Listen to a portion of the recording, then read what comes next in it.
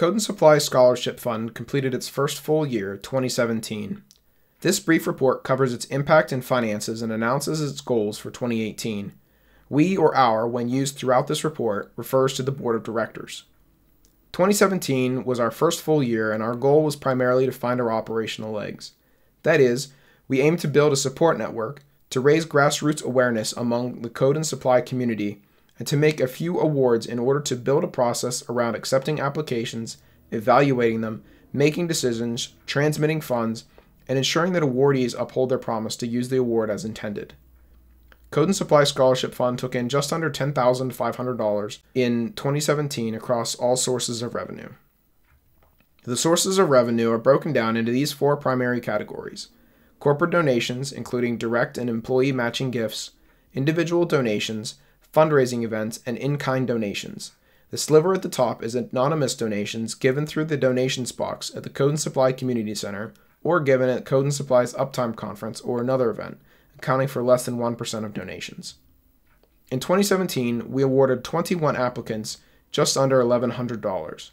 We received nearly $3,700 in cash and in kind donations.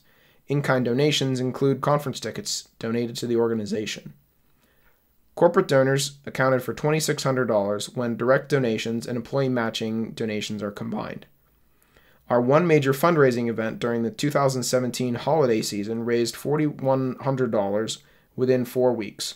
The board was impressed by the turnout of this event on such short notice, with less than four weeks from inception to execution.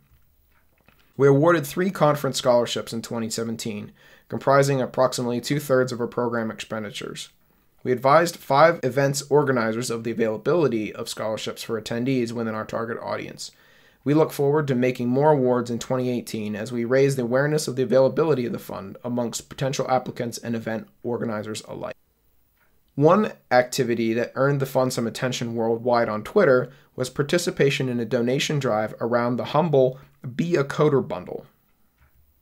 This drive started in 2016 when Twitter user Var James tweeted about buying underrepresented junior and new developers a copy of the bundle. A few Code and Supply Slack chat members said that they'd chip in if the fund participated. As this drive targets our very same target audience, we approve participation. We took 19 applications, 18 of which were deemed legitimate and were sent a copy of the bundle. We're glad to have helped them on their way to joining our community, wherever they may be in the world. We met one of our main goals for 2017, which was to spend at least 80% of the money we spent on program expenses. We want to maintain an 80 20 ratio of program expenses to overhead in order to build trust in our spending habits.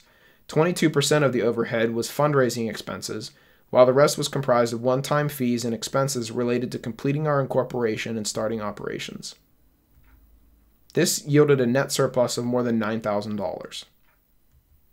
The fund's available assets rose from under 21,000 at the end of 2016 when we conducted any donation campaigns at all to nearly $29,000. This table briefly summarizes the previous slide succinctly to show the growth of the fund.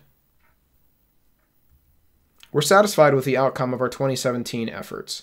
To reiterate, 2017 was meant primarily for benchmarking and experimenting with grassroots campaigns as the board learned how best to approach potential awardees, conferences they want to attend, and more.